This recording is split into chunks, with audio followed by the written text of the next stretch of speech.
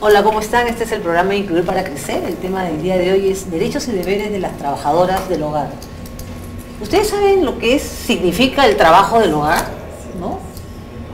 Las trabajadoras del hogar, por ejemplo, tienen derecho a descanso remunerado, se les paga horas extras, pueden ponerse de acuerdo con la empleadora o con el empleador qué actividades son las que van a hacer, son responsables de hacer.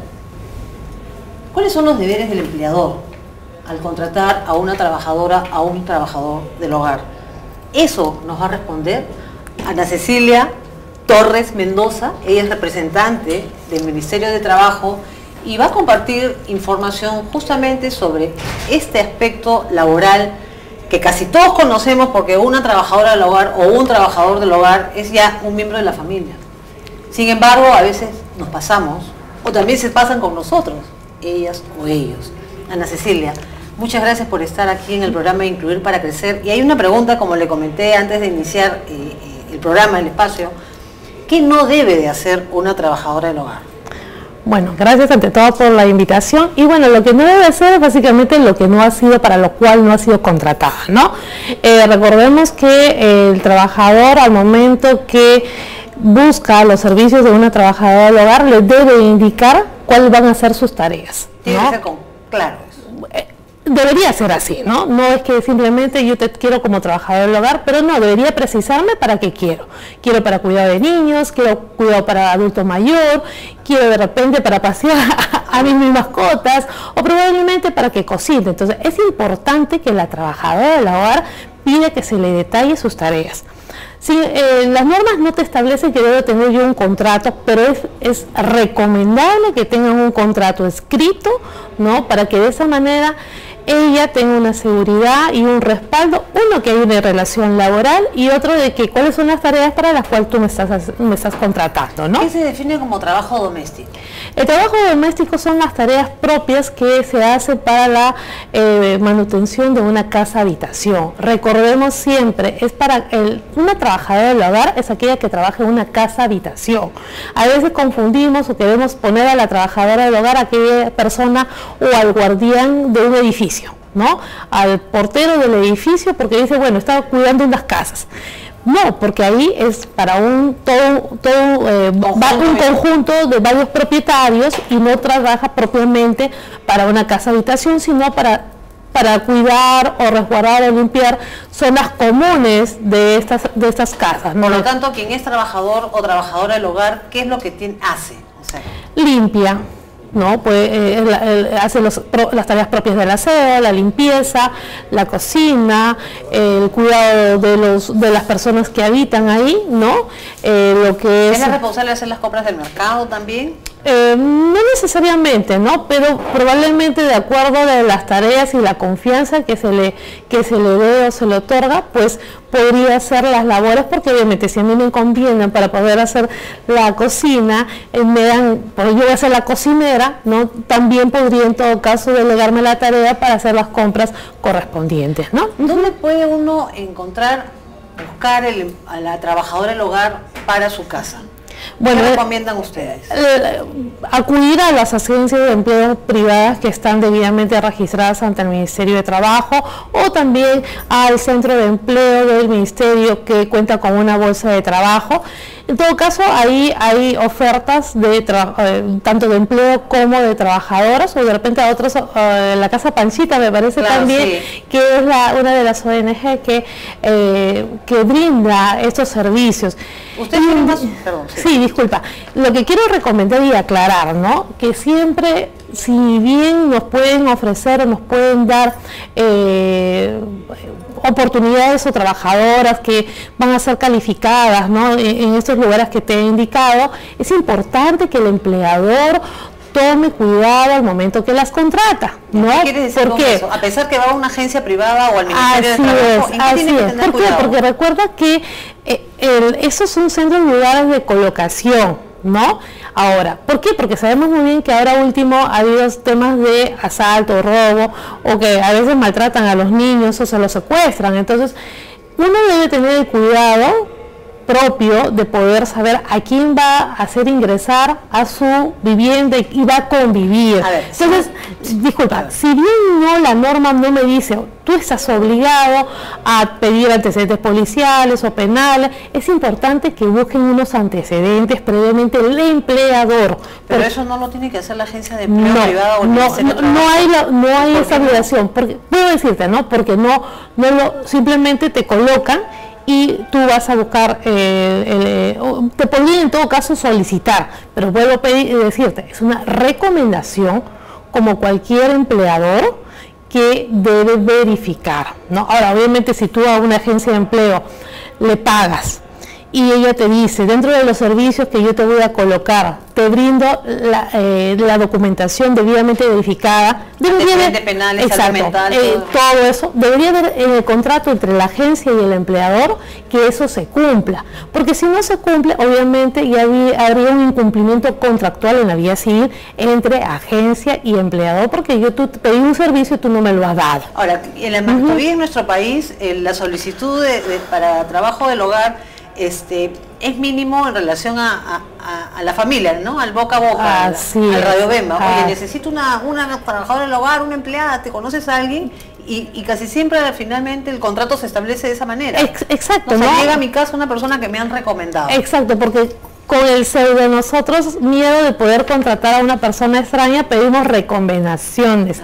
Pero no necesariamente las recomendaciones, pues te dan una seguridad de que 100% que esta persona no vaya a cometer algún tipo de, eh, eh, ¿cómo se llama?, robo ilícito, en el sentido que vaya a maltratar a, a, los niños o a los mismos ancianos, ¿no? Entonces, vuelvo a decir, uno tenía que tener a la persona que iba a ingresar mucho cuidado, ¿no? Es por eso que lamentablemente ahora la gente se ve obligada a poner cámaras para controlar cómo va el desenvolvimiento de estas personas, ¿no? Ahora, tanto me imagino, tanto para la persona que va a la agencia privada a solicitar el, trabajo de, una trabajadora del hogar un trabajador del hogar, como el ministerio, como de algún familiar o amigo que te recomienda, ¿qué deben de saber sobre los derechos de los trabajadores? Por ejemplo, ¿Cuántas horas debe trabajar así sea recomendada la trabajadora del hogar? Así es. ¿Cuál es su horario máximo, mínimo? ¿Cómo es? El tema de ser, el tema de ser recomendada, el tema de ser contratada por a través de una agencia de empleo o por el mismo Ministerio de Trabajo, indistintamente, la persona cuando contrata a una trabajadora del hogar, lo que tiene que tener claro es que eh, adquiere obligaciones respecto a ellas. Tiene la obligación de respetarle las la jornada laboral que es de 8 horas o 48 horas semanales, indistintamente tenga la modalidad cama afuera o cama adentro, porque recordemos que de acuerdo a la ley ellas tienen dos modalidades, cama afuera, cama adentro, pero indistintamente su jornada se aplica la misma, la de 8 horas diarias o 48 horas semanales, cosa que también sabemos que no se respeta y lamentablemente muchas trabajadoras que eh, se quejan de que el, el, empleador cree que están a disposición las 24 horas cuando no es así. de la noche yo soy Exacto, exacto, ¿no? Luego tenemos que también tienen derecho al día de, a un día de descanso semanal obligatorio, ¿no? De preferencia son los días domingos, ¿no? Pero se podría pactar un día distinto, pero tienen la obligación. Ese día de descanso... por lo menos una vez a la semana una vez a la semana. Uno. Porque puede ser dos como lo tenemos muchos. Eh, por eso, como mínimo la ley te dice uno, ¿no? Generalmente eh, hay, hay personas que salen al mediodía del día sábado, pero ya esa es una facultad. Igual, mínimo tiene que tener su día de descanso obligatorio, tienen derecho a los feriados. descanso remunerado. Son descansos remunerados, quiere decir, no voy a trabajar, pero se va a pagar porque se va a incluir dentro de mi pago pactado, que sea pactado ya sea mensual, quincenal o semanal. ¿En qué casos puede el empleador descontar? Cuando no asiste, cuando, como todo, ¿no? Cuando hay una inexistencia injustificada, yo te voy a poder descontar, ¿no? Si llega tarde. Eso ya tendría que hacer un pacto. Lo que pasa es que si te das cuenta un poco, el trabajador del hogar no hay el tema de registro de asistencia, ¿no? Entonces, como que hay un poco de la... Pero eso todo es de acuerdo a lo pactado, ¿no? Pero me podría descontar porque llego tarde, porque probablemente yo necesito que tú estés acá a las 8 de la mañana porque yo me voy a trabajar a las ocho y media.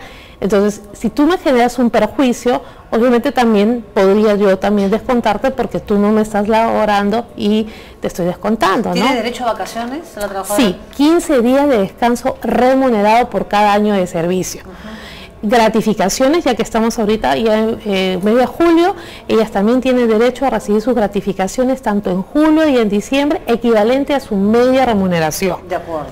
Y el, tema de la CTS, que es la compensación de tiempo de servicio, también tiene derecho a recibir media remuneración por cada año de servicio. ¿Cuándo decide el empleador prescindir de su trabajo? ¿O cuando decide no, no, no. La CTS es la compensación por tiempo de servicio ah, que tiene una calidad de seguro de desempleo. En el tema de las trabajadoras del hogar se regula de la siguiente forma. Por ejemplo, en el, régimen general, el empleador va a depositar semestralmente en los meses de mayo y noviembre a una entidad financiera. En el caso de ellas, lo puede pagar de manera anual con efecto cancelatorio o al término de la relación laboral. Ah, de acuerdo. Eso es muy aparte del tema de cuando se despide, ¿no? Ah, de acuerdo. Ahora, existe, ¿qué tiene que, qué puede hacer un empleador o una empleadora si quiere prescindir del contrato, si no quiere ya esa trabajadora o trabajador del hogar? Mm, bueno, si yo no deseo ya contar con esta persona, puedo, obviamente porque la situación ya no es llevadera, puedo avisarle con 15 días de anticipación que su relación laboral va a terminar y si fuese intempestivamente, porque ya no soporto, no puedo tolerar tenerla 15 días más acá en mi casa, pues, pues tendría que pagarle su liquidación de beneficio más el pago de esos 15 días que no le di el preaviso, ¿no? sí, porque eso sería como una suerte de su indemnización para ellas, ¿no? Ahora, ¿cuál es el sueldo mínimo? Para ellas, el pequeño... Yo creo que es bien importante, porque la verdad, a mí me sorprende ver con algunas amigas o amigos que tienen trabajadoras del hogar en su casa, muchas veces recomendados por familiar o amigos de otra, que viven en otras ciudades del país, que no les pagan el mínimo. Lo que pasa... el, argumento es que tienen cama adentro. no, no, no. el argumento no es porque es cama adentro, porque es cama afuera. El argumento sencillamente es porque la ley no establece un mínimo legal para ellas. La norma de trabajadoras del hogar... ¿A la ley no establece un mínimo no, para ellas justo su norma establece que la remuneración será la pactada entre empleador y trabajador de acuerdo a las actividades que realice. O sea, no es que esta parte yo creo que vale la pena explicarlo más. Sí, hacemos una pausa, vamos a hacer una pausa para que nos explique eh, Ana Cecilia Torres Mendoza, representante del Ministerio de Trabajo, cuál es el sueldo mínimo de una trabajadora o un trabajador del hogar. Ya regresamos.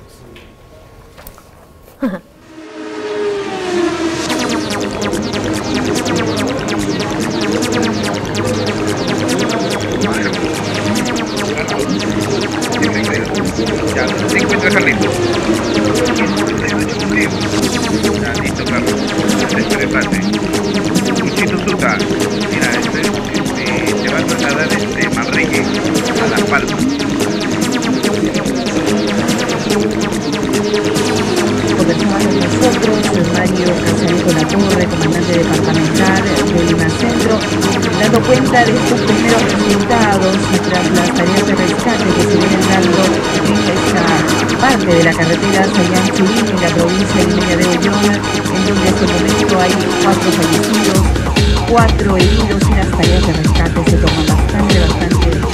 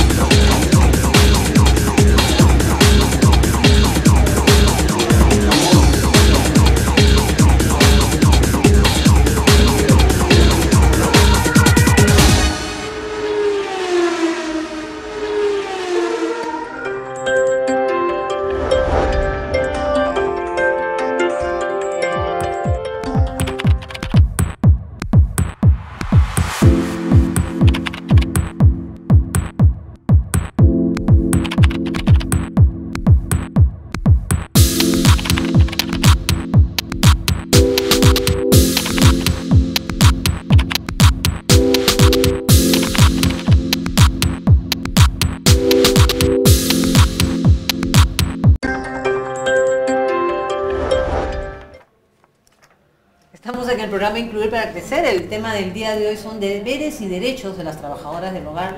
Y Ana Cecilia Torres Mendoza, representante del Ministerio de Trabajo, está aquí con nosotros, justamente en la parte en que nos tiene que informar con claridad cuál es el sueldo mínimo de una trabajadora del hogar.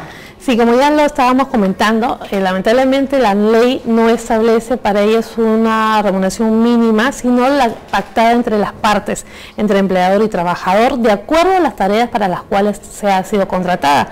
Por ende, si yo te contrato por decir mínimo, menos del mínimo vital, 500 soles, pues obviamente no estaré incumpliendo las normas laborales y más bien en función a este monto que te pague, tendré que pagarte tus beneficios sociales, que son todos casi a la mitad, ¿no? Ya, pero ¿cuáles son los criterios mínimos que te, porque si en el mundo el trabajo doméstico no está valorado, imagínese pagarle a un segundo, a una tercera persona para que lo haga en nuestro país, en donde también hay bastante racismo y prejuicio hacia ellas, este, a veces los sueldos son bastante injustos. ¿Cuáles son los criterios elementales para pagarle un sueldo adecuado a la labor que realizan las trabajadoras del hogar?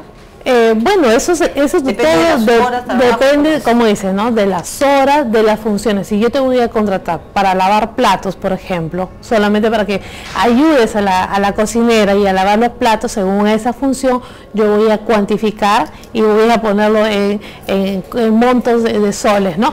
Ahora, recordemos que eso es un acuerdo, ¿no? Si a mí la persona que me va a contratar viene y me indica, eso es lo que yo te propongo pagarte. Y si yo no estoy de acuerdo, pues simplemente pues no tomo el, contra eh, el trabajo. ¿no? en esta parte me gustaría saber, usted como representante del Ministerio de Trabajo, eh, ¿qué le recomendaría al empleador? ¿Qué le recomienda al empleador? Eh, bueno, primero el empleador tengo que saber bien definir a ellos, indicarles a ellos qué, para qué los voy a contratar, porque obviamente como en todo, en todo centro de trabajo, según como yo te pago, según como yo también te doy las condiciones mínimas para poder trabajar, también voy a brindar un buen servicio, ¿no? Entonces recordemos que también las normas indican que si hay una modalidad cama adentro, debo darle una habitación, un alojamiento, con, eh, o sea, con las condiciones mínimas de comodidad, ¿no? No voy a pues mandarla pues a la, al último lugar, donde, al costado de un lugar que no mi, pregunta era, mi pregunta era más por el lado, este, el promedio, por ejemplo, del sueldo. Es que como te debo decir... Tiene que haber un promedio. Sí, lamentablemente... Hay gente muy abusiva, pues también. Exacto, pero lo que pasa es que la ley... O sea, yo trato de centrar la conversación porque hay gente que es bien abusiva. Sí, yo lo el entiendo. doméstico no se valora y además lo hacen personas que son discriminadas en nuestra sociedad. Claro. Pruebas de la Eucaristía. Ah, claro. Pero como te voy a decir, ¿no? Lamentablemente eh, la norma te dice eso, ¿no? Entonces, eh, bueno, en todo caso, habría algún momento plantear algún proyecto de modificación de ser el caso, ¿no?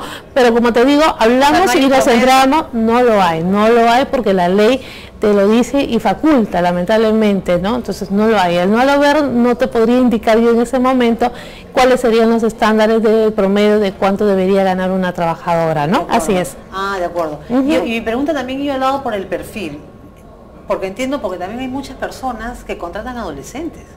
Claro, eso está prohibido, o sea, está, prohibido. uno, le decía, ¿qué recomendación claro, la empleadora o el empleador al claro. de decidir por contratar a una persona exacto no exacto. Primero que no tendría que está prohibido cómo se llama contratar a adolescentes. Y si lo hacemos obviamente dependiendo de la edad que tienen ellos no pueden realizar tareas que pongan en riesgo su vida. Por ejemplo no yo no le voy a contratar a un adolescente de 13 o 14 años para que me limpie las ventanas de la parte exterior de mi casa, por decirlo, ¿no? O sea, estoy poniendo en riesgo su vida, ¿no? O para que me haga limpiezas que sabemos, de por sí, obviamente, así sea adolescente, tampoco la trabajadora del hogar podría pues estar trepada, limpiando, como a veces vemos, ventanales grandotes, porque obviamente no están tomando las medidas de seguridad que lo haríamos con cualquier trabajador, ¿no? que no sea menor de edad. Exacto. Estar claramente de acuerdo con la persona a la que contratan para ver las responsabilidades que asumen. Así es, así y es. en el tema de sueldo, Sí, pues.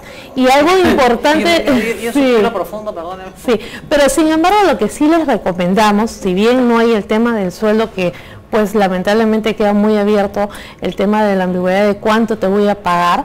Recordemos que indistintamente a esto, ellos sí están obligados a registrarlos a través de la SUNAT a su trabajadora del hogar y a ellos como empleadores. ¿Por qué? ¿Cuál es la finalidad de eso? Es para que ellas puedan ser atendidas a través de e-salud.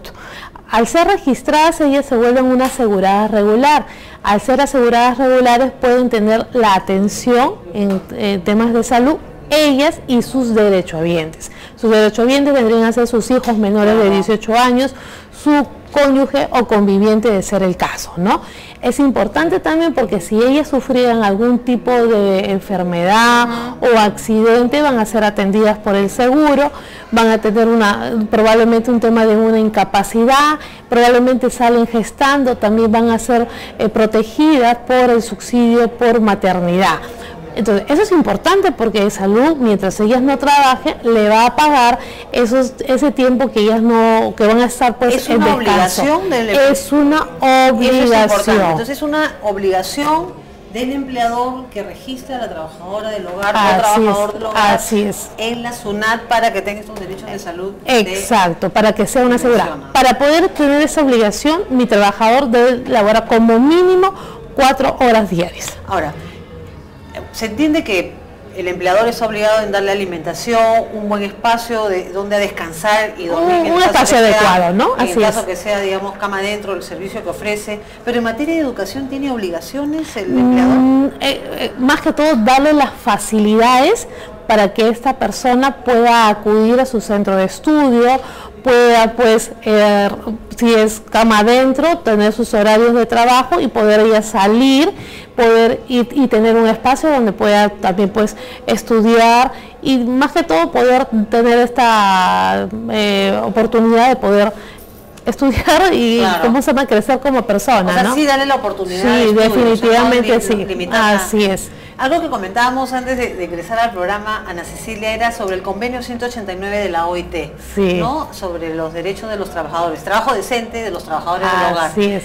¿El Estado está en deuda con los trabajadores del hogar o cuál es la situación? Eh, bueno, en primer lugar, acá estamos para hacer un tema de, aclaraciones de capacitación, ¿no? porque yo la que pertenezco a la Dirección de Capacitación y Difusión Laboral. Sin embargo, lo que sí te puedo comentar es que el Ministerio de Trabajo ya desde el año pasado está con un plan de acción con las trabajadoras del hogar, es decir, están teniendo mesas de trabajo conjuntamente con los gremios de trabajadoras del hogar y el Ministerio de Trabajo para tratar varios temas. Uno de ellos es el famoso convenio que tú 189, muy importante, están ellos en conversaciones, aún todavía no se termina eh, de, ver este tema, pero sí dentro de la agenda de las mesas de trabajo se trata y se ve este, este tema tan importante. Y conjuntamente con los gremios de trabajadores del hogar, lo que se está haciendo es campañas de difusión laboral para poder hacer una sensibilización a tanto empleadores como trabajadores, como para el tema del registro, que es muy importante en SUNAT para que ella se, se luz, ¿no? Esta es la del estribo, porque ya me están avisando que terminamos, eh, terminó el tiempo del programa. ¿Cuántos trabajadores y trabajadoras del hogar hay en nuestro país? Bueno, ahorita sí, eh, la estadística no te la podría decir, pero sí tenemos una, un gran número de personas que están eh, pues recurriendo, dedicadas a estas labores, ¿no? Y así es. Ana Cecilia, muchas gracias por estar aquí en el programa. Por lo menos le hemos dado casi el ABC de los derechos y deberes de las trabajadoras del hogar. Nos vemos el próximo viernes aquí en el canal online de la Agencia Andina de Noticias. Hasta la próxima.